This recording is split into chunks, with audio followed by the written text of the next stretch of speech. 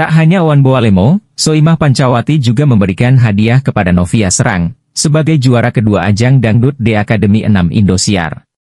Beda dari Owan Boalemo, hadiah Hemai Soimah yang diberikan kepada Novia Serang, sedikit lebih murah ketimbang Owan Baolemo. Meskipun pun begitu, hadiah dari Soimah Pancawati tersebut bernilai mencapai puluhan juta rupiah.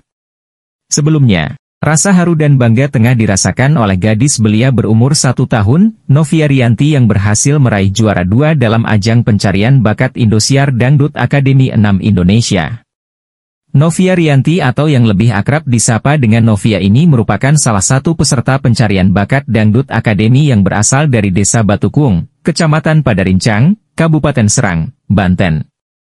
Novia merupakan salah satu siswi SMP Negeri 1 pada Rincang yang memiliki bakatnya dalam bernyanyi dan memiliki prestasi di bidangnya. Putri dari pasangan Ugan dan Pia ini terlahir sebagai keluarga yang sederhana, pasalnya ayah Novia berprofesi sebagai seorang buruh batu dan kayu, sedangkan ibunya adalah seorang ibu rumah tangga. Sedari kecil, dirinya sudah memiliki cita-cita yang tinggi, yakni menjadi seorang penyanyi terkenal dan yang lebih mengejutkannya, Novia mengembangkan bakat menyanyinya ini dipelajari secara otodidak. Untuk meraih cita-citanya itu, Novia memutuskan untuk mengikuti ajang pencarian bakat Dangdut Akademi Indosiar pada musim ke-6. Novia mengikuti audisi secara online pada bulan Juli 2023 lalu dengan mengunggah video bernyanyi di media sosialnya dengan membawakan dua buah lagu dangdut berjudul Bunga-Bunga Cinta dan Sekali Seumur Hidup. Karena suaranya yang terdengar merdu dan indah itulah, sehingga membuat dirinya bisa masuk ke babak penyisihan, sehingga bisa tampil di layar kaca Indosiar dalam ajang pencarian bakat Dangdut Akademi. Proses demi proses Novia hadapi dengan teguh, hingga dirinya mampu bersanding dengan para penyilainya, seperti Melili serta Gunawan Lida 2020 serta dengan beberapa alumni DA sebelumnya, seperti Aulia Da4, Avan Da5 dan beberapa penyanyi lainnya. Usaha tidak mengkhianati hasil.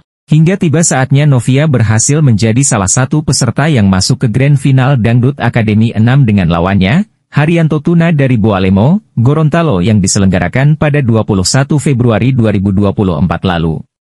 Meskipun pada Grand Final ini Novia tidak mendapatkan juara satu, tapi dirinya tetap bisa membanggakan kedua orang tuanya dengan berhasil meraih juara dua dengan membawa pulang hadiah sebesar Rp 200 juta-juta rupiah.